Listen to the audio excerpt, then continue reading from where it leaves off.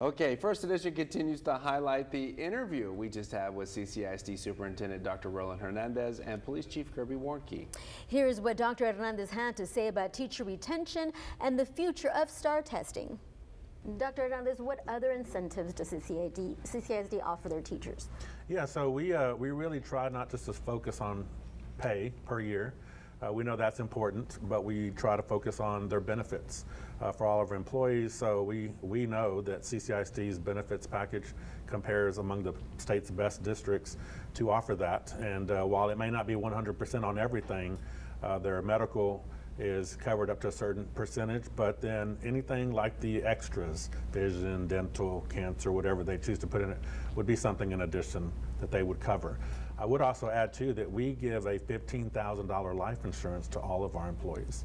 Uh, and we know how important that is. We have found over the course of some years where families really struggle in times of need like that. That's not something we want to happen, but in reality it does. And the bigger the district, the more often you're going to come across situations like that.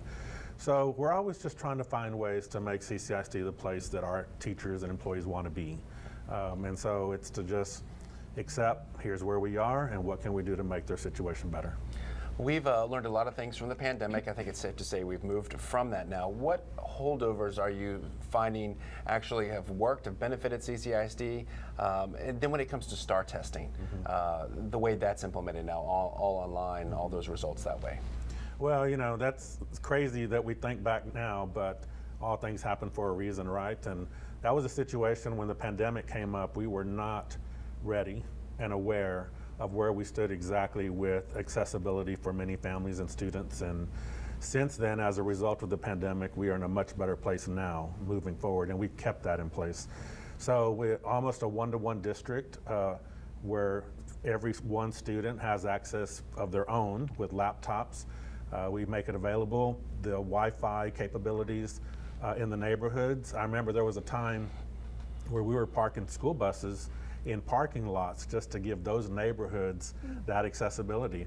And we learned then you may do something up to this point, but what can you do to go above and beyond? To see the entire interview, head over to our 3 News Plus app.